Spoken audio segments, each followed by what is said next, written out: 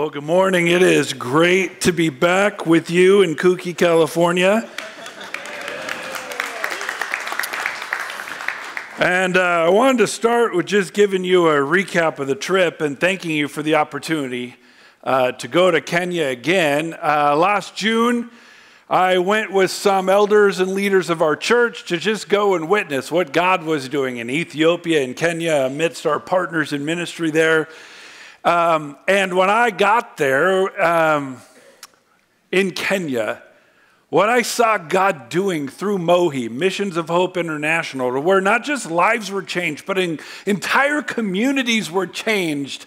Like I just really felt like I had to go back and bring some friends that I had met throughout the Chino Valley. For the last three years, you've kind of enabled me, equipped me, empowered me to go build relationships with pastors within our 10 mile radius for the purpose of encouraging them, equipping them, empowering them more in their ministry, but also in hopes that God might do something with all of us together, something better together than we could ever do apart. And when I was in Kenya last June, uh, the leaders of Mohi talked about a community named Shambini and uh, how they had leaders there and the community was ready, but there was no one to pay for the work. There was no one to support it, no one to undergird it. And I just felt like, man, that's, that's what God has for us. So I came back and talked to a number of my uh, pastor friends here in the Chino Valley and told them about this work. And uh, so we went. We went to Kenya and a group of churches. Here's a, logos of churches. So our church, the Bridge Church, Crosspoint Church, Bethany Montclair couldn't come, but they're partnering with us in the work. Transformation Church, Upward Call Church, Southland. So a bunch of pastors came, and man, we not only had a great time, but we saw God doing incredible things. And when everything was said and done, we broke ground for a new church and a new school in Shambini, uh, the southeast part of Kenya. Shambini is not only, yeah, you're going to Applaud for that. Um, Shambini is a, is a community on the coast of Kenya. There's extreme poverty.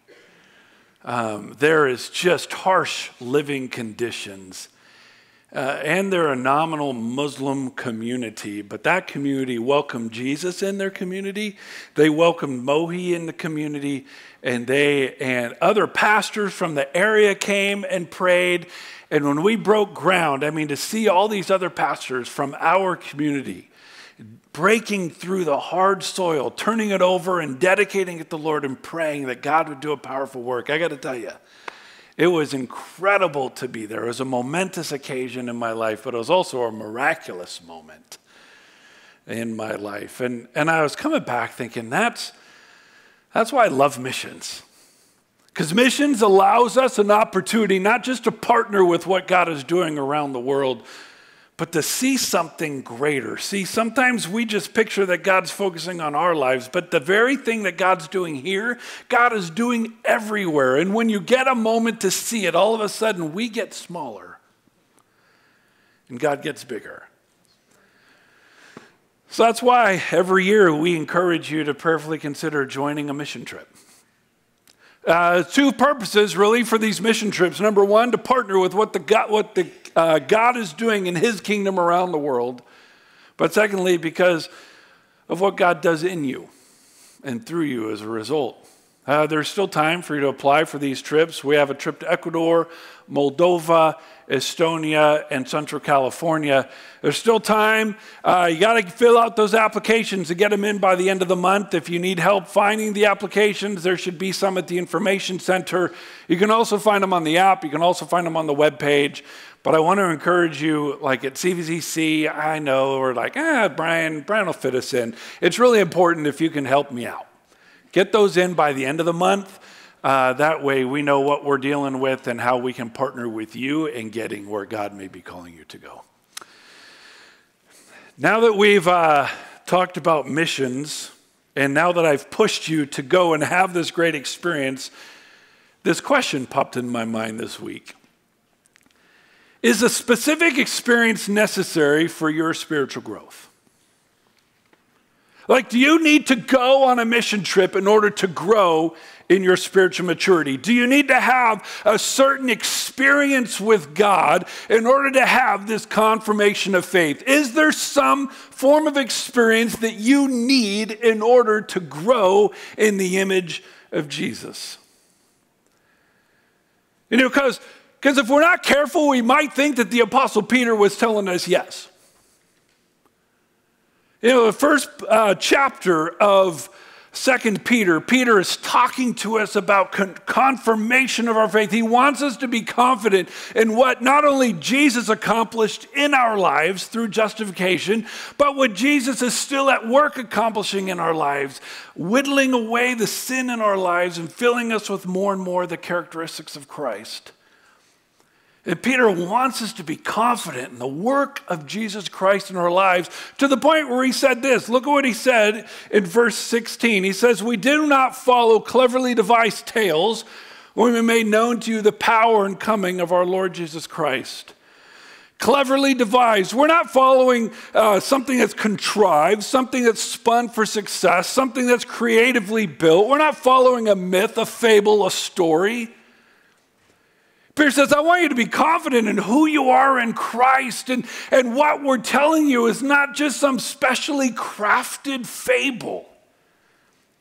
And then Peter went into an experience, right? He went into the Mount of Transfiguration experience where Peter says, Listen, I know this is true. I was there on the mountain. And Brett did a great job talking about that last week. Didn't Brett do a great job the last two weeks? Man, what a blessing it is to have elders in our church who can faithfully preach the word of God. And the Apostle Peter said, I want you to be confident in your faith, not only what Jesus is doing in your life, but what he has already accomplished in your life. And Peter says, Listen, I'm confident. I saw something miraculous on the Temple Mount. But that's not where Peter's confidence comes. See, if we're not careful, we begin to think that Peter is saying experience is everything. And that's not what he's saying at all. Peter is saying, as much as that experience was important, what it did was it proved the power of Scripture. Man, you want to grow in your faith, you want to be developed in spiritual growth. You want to grow in the image of Jesus and have this budding confidence in who you are in Christ. It's not based in experience, but rooted in Scripture. If you have your Bibles, you can join me in the book of Second Peter. It's actually the second letter of Peter. If you haven't been there before, just go to the back of your Bible and then just start flipping to the left. You'll find it. If you hit First Peter, you went too far. Go back. Second Peter We're going to start in verse 19. See, after Peter is firm about what Jesus has accomplished in you through justification, after Peter has discussed everything that Jesus is still doing in you in sanctification, ridding your life of more and more sin and filling it with more and more of the characteristics of Him, he went in and talked about this great experience he had on the mountaintop. But then look at verse 19. He said, So, we have the prophetic word made more sure, to which you do well to pay attention, as to a lamp shining in a dark place until the dawns and the morning star arises in your hearts. But know this first of all that no prophecy of Scripture is a matter of one's own interpretation, for, so, for no prophecy was ever made by an act of human will, but men moved by the Holy Spirit spoke from God. Verse 19 begins with this term, so. Here where Peter's like, listen, I had this great experience, but what this experience did was just prove to me what the Bible had already said. He said this, so we have the prophetic word made more sure. A term made more sure. Uh, it's a comparative term, meaning scripture is better Scripture is bigger. Scripture is more secure. All the experience that Peter had, all it did was make, make the Bible more certain, more verified. It built confidence in Peter's life. So Peter is saying, Listen, I want you to be confident in your faith. And I had this experience that none of you are ever going to have. And here's what it did in my life it gave me confidence that everything that the scripture said is true. Peter isn't saying base your faith in experience. He's saying base, base your experience on scripture. And then he goes into three truths about the Bible. Three truths on why you can have confidence in Scripture and why you can have confidence in your faith because of Scripture. First truth is this because it's proven. Because it's proven. The Word of God is proven. Look at this. Look at verse 19. It says, so We have the prophetic word made sure it's confident. It's reliable. Everything that the Bible said was going to happen has happened. Here's some Old Testament uh, prophecies that he's talking about. Look at Isaiah 7:14. This is all before Jesus was even born. Therefore, the Lord himself will give you a sign. Behold, surprise, a virgin will be with child and bear a son, and she will call his name Emmanuel. Look at what it says later in that book, Isaiah 53. He was pierced through for our transgressions, he was crushed for our iniquities, the chastening for our well being, being fell upon him, and by his scourging we are healed. Continues, he was oppressed and he was afflicted, yet he did not open his mouth like a lamb that was led to the slaughter, like a sheep that is silent before its shears. So he did not open his mouth. Past continue. His grave was assigned with a wicked man. he was with a rich man in his death because he had, not, he had done no violence, nor was there any deceit in his mouth. Look at another Old Testament prophecy, Micah 5 2. But as for you, Bethlehem Ephrathah, too little to be among the clans of Judah, from you one will go forth from me to be ruler in Israel. His goings forth are from long ago, from the days of eternity. Peter's like, listen, scripture, everything that I witnessed in life, Peter says all it does is confirm and prove the accuracy of Scripture. The first truth you got to know about the Bible the Bible is proven. The Bible is proven. It's not just proven about Jesus. The Bible has been proven archaeologically. I was doing some research this week, and something snuck by most of us, including myself, because of COVID and all the drama and culture. There was this enormous thing that happened in September of 2021. September 2021, there was this paper that was published. There was a paper published that was the result of over two decades of work that was peer reviewed and it involved 21 scientists all bringing in their specialties into this one aspect of life. September 2021. And it began with them looking at this one city. They wanted to find this one particular city around the Red Sea, and they used the Bible to give them some specific area of where to find it. And when they found this site, they began to dig and excavate. And what they found was a four foot pile of soot. Within the soot were, were broken pieces of bone and pottery and brick. But there was something specific on the brick. See, one side had this glaze on it. The glaze that was only produced through extreme heat in a very short period of time. It resembled the sands of New Mexico when they were um, trying out all those, um, oh, what's the nuclear, nuclear things, right? The atomic bomb.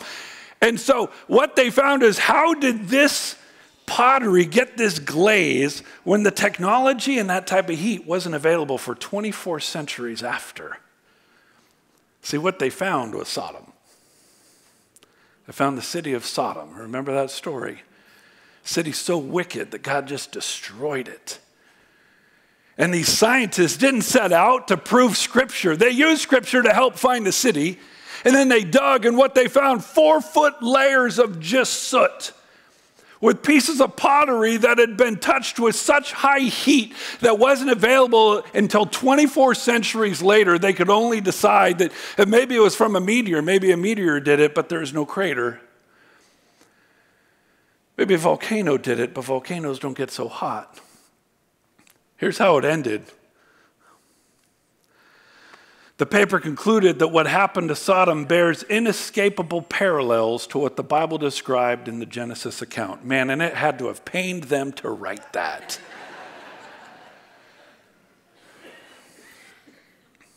And what I want you to know the same scripture that's been proven over and over again about who Jesus is.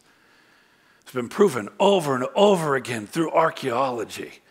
Man, it's that same scripture that has said that your sins can be forgiven through the sacrifice of Jesus Christ. So, same scripture said that Jesus is divine, Son of God, the creator of everything, who built everything out of nothing. It's that same scripture that promises an eternal security when you accept the sacrifice of Jesus Christ. Peter's message to you to good people who loved Jesus back then in their kooky culture to people who love Jesus today and ours.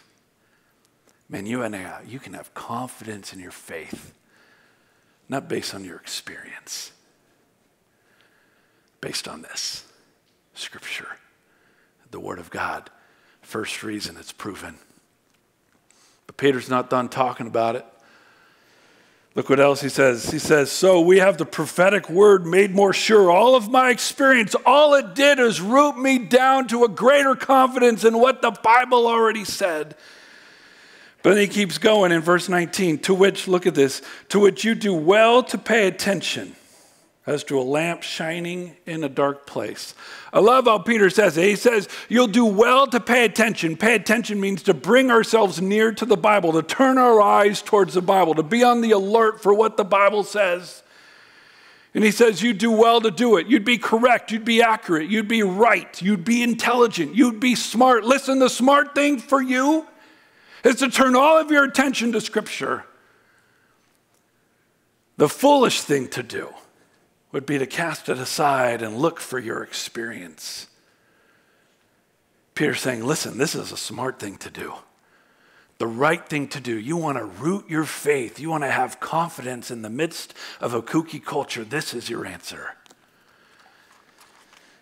Not only is it proven, but it's powerful. Look at this. He said, You do well to pay attention as to a lamp shining in a dark place. A term dark, it describes something that's murky and disorienting. I don't know about you, but uh, one of the challenges that I face when I travel is in the middle of the night when I wake up, I'm disoriented. I, after traveling at so diff- many different places and being at a different place so many different nights, and, and there's no night lights, light, right, in Africa. And so you wake up in the dark, and I'm disoriented. And so I've learned to have my flashlight next to my bed or my phone. So when I wake up and I can't remember where I am, I just turn on the flashlight and look around. And I hate being disoriented. I feel lost, powerless, anxious. But once I turn the light on and recognize my surroundings, this peace just comes around and I'm able to drift back off to sleep. You know, the Bible says, you know what? The, the Word of God, it's like that in culture. See, culture is a dark and murky place. It can be difficult to get your bearings. It seems like everybody around you is pursuing money and power. But the Bible serves as a light tells you, no, no, no, you're supposed to be about service and humility. The first will be last, but the last will be first. Man, it can be challenging and difficult to get your bearings in relationship because all culture pushes at you as sex, but, but the Bible, the Bible's trying to shine light on something deeper on the power of a relationship where you bring self control and respect, submission, and godly characteristics in a relationship. Man, be, it can be hard to get your bearings when everyone's fighting for control. Or elections all over the world bring out the worst in people. But the Bible tells you God's already got everything in the palm of his hands, or all world authorities submit to him. Peter says it can be disorienting when you live in a kooky culture where if you stand for Jesus, you get persecuted, but if, if you reject Jesus, you get comfort. But the Bible reminds you, exhorts you, and empowers you to look through all of that murk and mire and see the truth. See, Peter, after all of his experience, says, You know what? Yeah, it was great. I saw some miraculous, amazing, incredible things, but all it did was confirm the power of Scripture. It's proven time and time again. Man, it's powerful. It functions like a light to your feet. Isn't that what Psalms 119 says? Look at this Psalm 119. Your word is a lamp to my feet and a light to my path. See, it's not just Peter that thinks that, it's not just the psalmist that thinks that. It's also Paul. Paul has this powerful passage that talks about the power of Scripture. Man, it's not just proven, but it's powerful. This is not just some dead textbook. This is a living, breathing, active Word of God that has powerful influence on your life, or it ought to. Do me a favor, put your thumb in 2 Peter and flip over a little bit to the book of 2 Timothy. Shouldn't have to flip too far. Book of 2 Timothy, chapter 3. We've gone over this before, but I want to remind you again. See, it's not just Peter who says experience is great, but Scripture is foundational. It's not just a psalmist, but it's the Apostle Paul as well. Look at what he says 2 Timothy 3 16 and 17.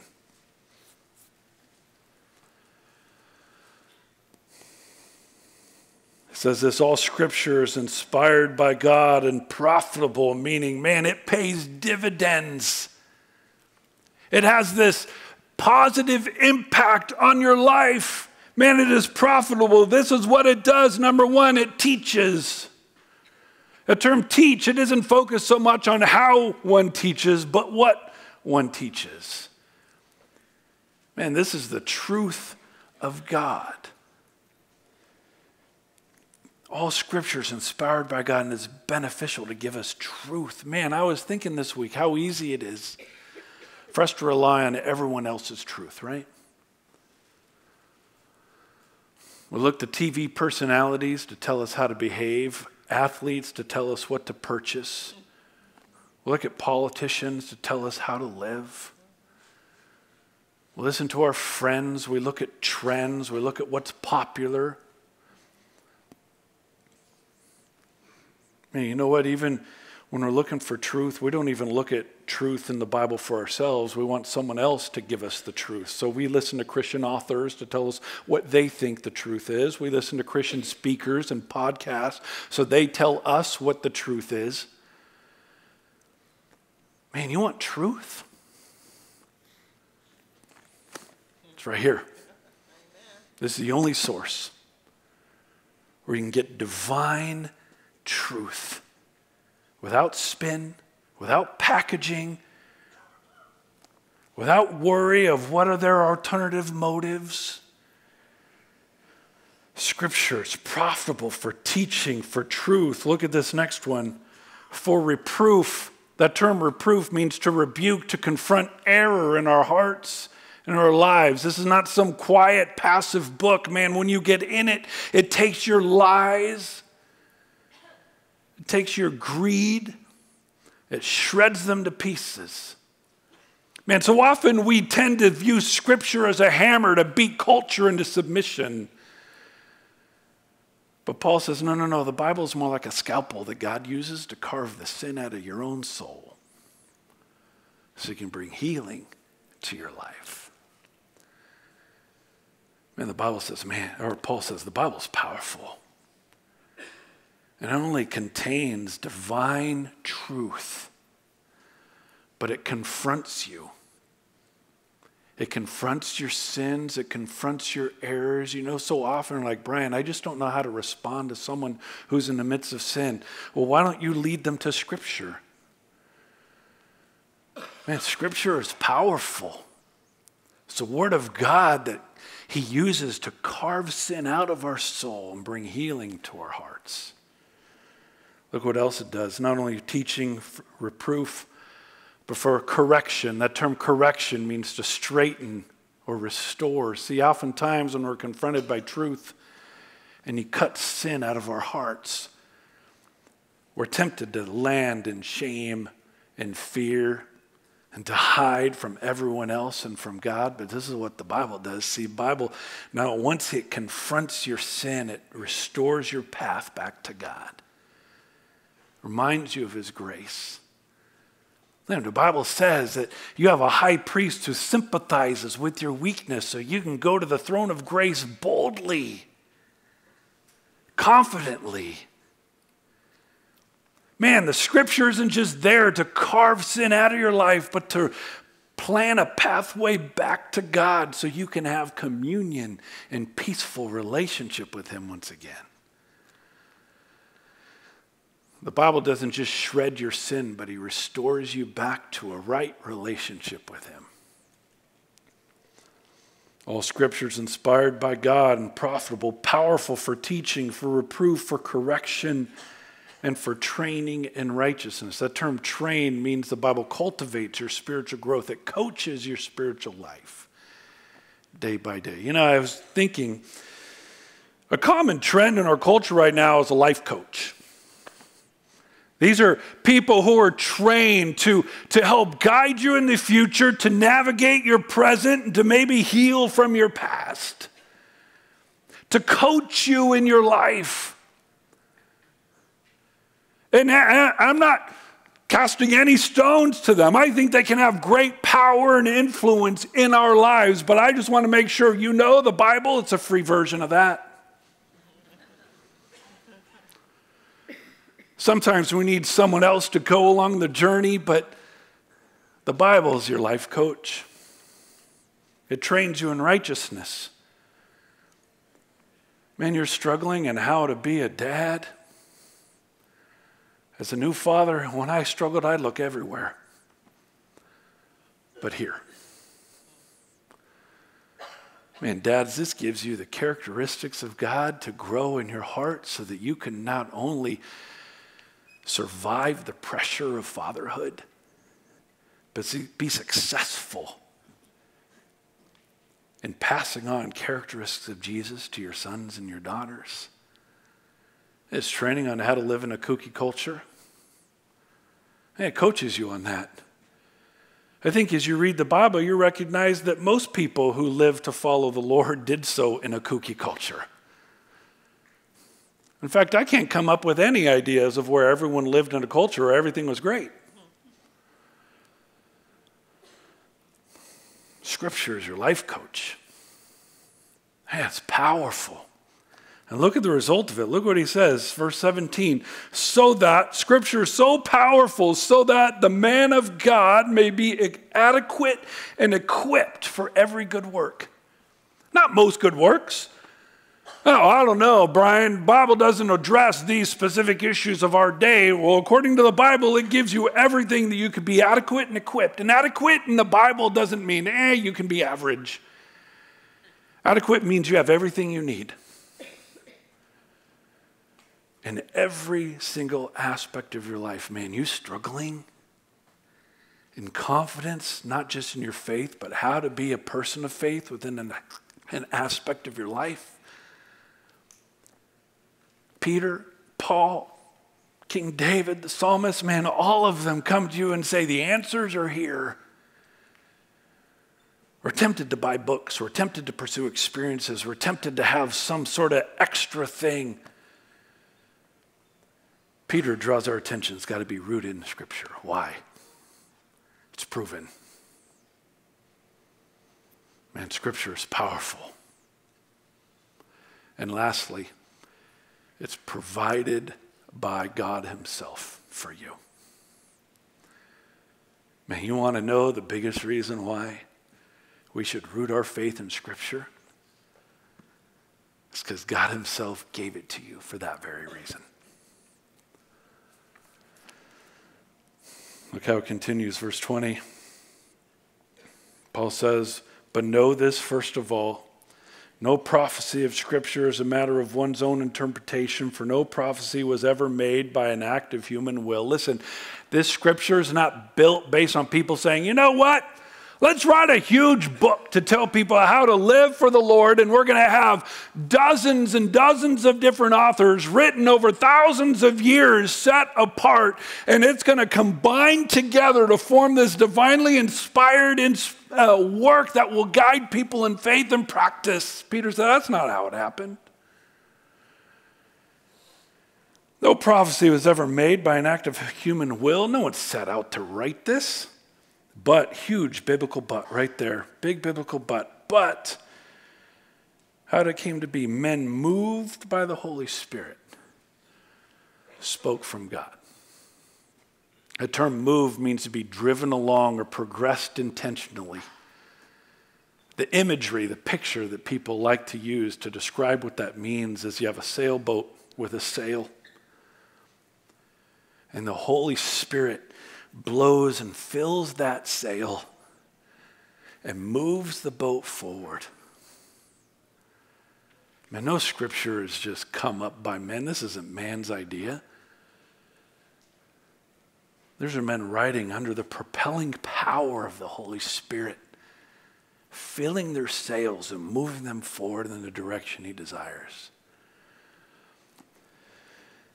Going back to what, how Paul described it. He used uh, he described it much the same way. Look at 2 Timothy 3:16. All scripture is inspired by God. Man, I love that term inspired in the Greek. It's theopneustos. Theo meaning God, pneustos meaning breathed, breathed.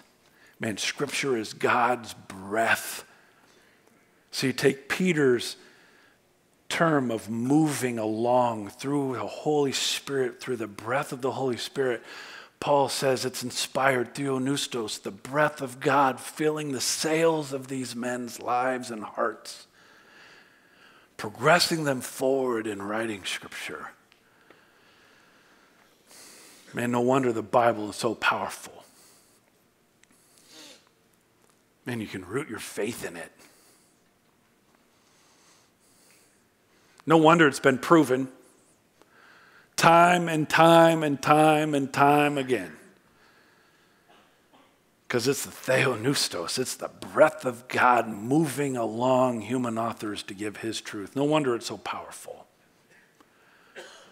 No wonder it can guide your path no matter what aspect you find yourself and root you in confidence in your faith because it is the theopneustos, the breath of God moving along to give you what you need.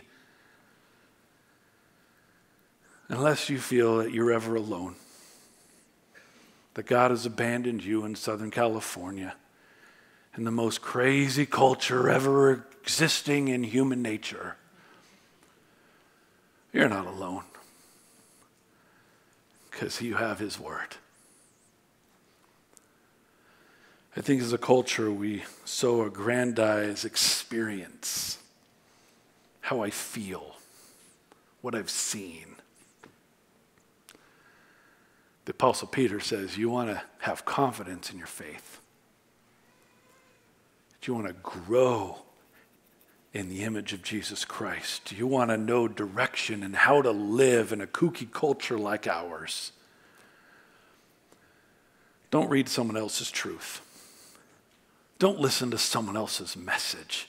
Use them as resources if you want, but the foundation of your life and faith and practice is right here. Handcrafted and delivered to you by God Himself.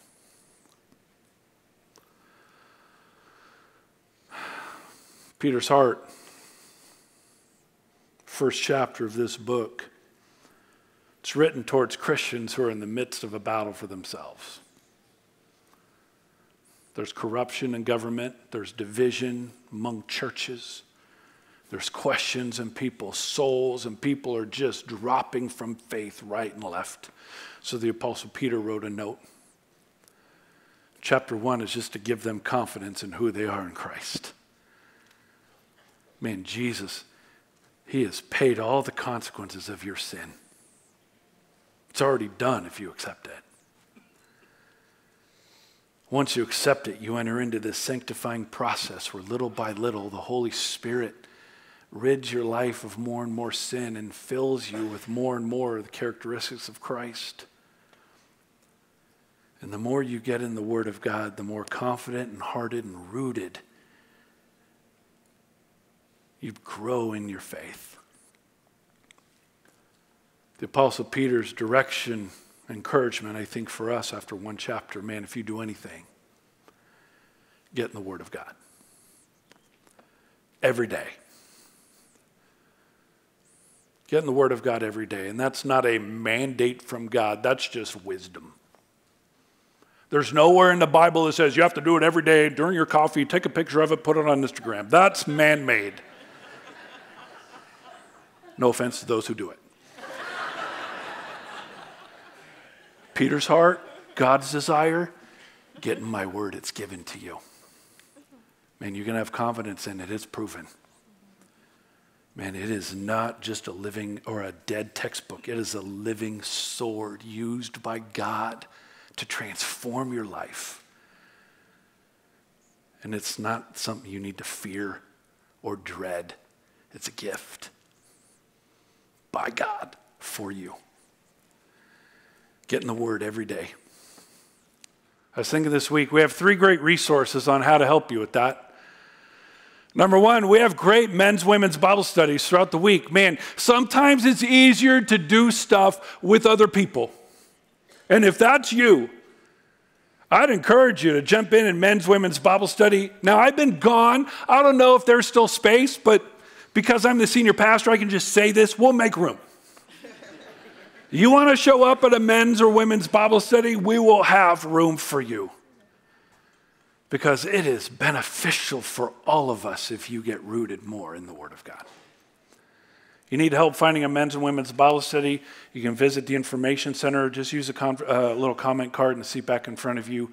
Put your name, email address, say you want to join a Bible study, we'll help you out. You're like, oh, Brian, I don't want to do a Bible study. I'd rather be in a small group. Fantastic. We have dozens and dozens of small groups where you can be a part. They meet in people's homes throughout the week at different times. Or you can study the Word of God with others. Same thing applies. You need help finding a small group. Go to the information center, use a comment card. We'd be happy to follow up and help you find a place. If you're like, Brian, I, I my schedule's kind of nuts with my kids and work, I just need to do this on my own. Fantastic. So, our office came up with a Bible reading plan I'd like to invite you to be a part of. You might be saying, well, Brian, it's February 11th. Like, how are you? That's weird. Where do we start? Just start on day one with me. You can find this Bible reading plan on the church app.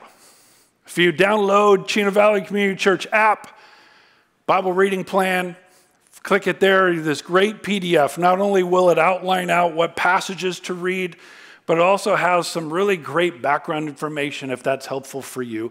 My encouragement, my invitation join me every day in following along this plan by the end of the year. By February 11th, 2025, we'll have gone through all of God's Word together and the book of Psalms twice. If you're not in your Word daily, do it with me. I'll hold you accountable, you hold me. This is a reading plan for you. Like, Brian, I don't want to download the app, I don't know how to work it. We'll have some printed copies out at the information center. I don't know if they're there now, but someone with a key will be able to get that done for you. Just go get it at the Welcome Center. Here's my request. Here's my encouragement. Here's Peter's direction. Here's God's desire. You want to grow in confidence in your faith. Root yourself in this book. Get to know it. You can trust it, it's proven. You need it. Man, it is powerful to change your life. And we should probably celebrate it more than we do. So it's the second greatest gift God's ever given. The first is His Son, the second is His Word. And I would probably say the third is a family like this to read the Word with. One step you can take to get more into the Word of God. Let's pray. Ah, God, we are grateful. I'm grateful, God, for your word, God, that you loved us to such a degree. You not only provided a way of salvation for us, but God, you provided a way of direction for us as well. So, God, as Tyler prayed earlier, I ask you, open our eyes Allow us to see you more clearly through your word. God, open our ears. As we read your word, we might hear your Holy Spirit convict us, empowering us, challenging us, growing us. God, I pray, open our heart that we would be open to making your word a more viable, influential, and powerful part of our lives. But God, we pray, help us to be more than just people who know your word. Help us to be people that do your word. So, God, I pray you give us humility and confidence. God, that we might continue to be a church that's not only rooted in the scriptures, but God, directed by them as well. God, I pray now for all my friends. God, you know where we're at. Some of us are struggling with some pretty serious medical issues. So, God, use your scriptures to comfort them. God, some are dealing with some serious sin issues that they're trying to turn their backs on and follow you. So, God, I pray that you would encourage them, equip them, and empower them in your grace and your mercy. God, there's some people here who are just struggling in fear fear of the future, fear of the present. So, God, as they try to place their faith and root it deeply in your word, May the peace of God that surpasses human comprehension guard their heart and their mind through Christ Jesus. God, we pray, will you use your word to strengthen us, embolden us, comfort us. Whatever we have to deal with today, we pray everything in your name.